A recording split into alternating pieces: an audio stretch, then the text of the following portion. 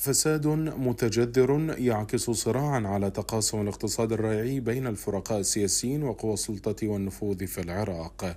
فساد أصبح عبارة عن شبكات عنكبوتية فهو لا يقف عند حدود شخصيات في مناصب عليا بالدولة. وإنما يمتد ليشمل مافيات سياسية وشخصيات خارجة عن التوصيف السياسي تعمل مع شخصيات حكومية أو حزبية متنفذة أو بعنوانات مكاتب اقتصادية تابعة لأحزاب سياسية أو ميليشيات مسلحة. في العراق مؤسسات رسمية تتعدد تسمياتها وعناوينها وظيفتها مكافحة الفساد كهيئة النزاهة وديوان الرقابة المالية ولجنة النزاهة في مجلس النواب ومحاكم قضائية مختصة في النظر بقضايا الفساد. ولكن الفساد باق ويتمدد وله سلطان أعلى من سطوة القانون الذي يحاربه.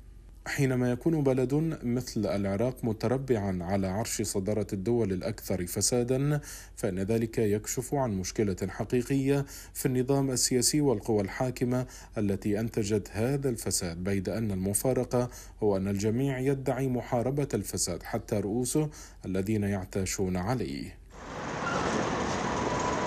الخطورة ليست في الفساد وانتشاره وإنما بتغلغله إلى مؤسسات الدولة وتقبله من قبل المواطن والسياسي على حد سواء ومن ثم بات ينتج أعرافا وقيما اجتماعية وثقافة تتقبل الفساد.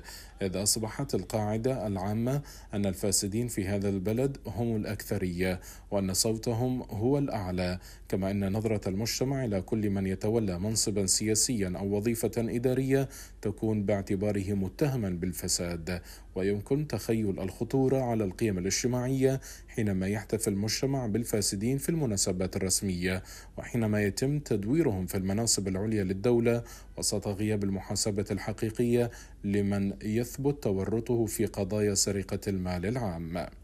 وما دامت المنظومة الحاكمة تعترف بتغلغل الفساد في جميع مفاصل الدولة وفي الوقت نفسه لا تحاربه فالنتيجة بأن الفساد هو جزء من عمل منظومة السلطة بمستوياتها العليا ومن ثم تكون النتيجة كارثية يدفع ثمنها الشعب من قوته الذي يسرق في وضح النهار.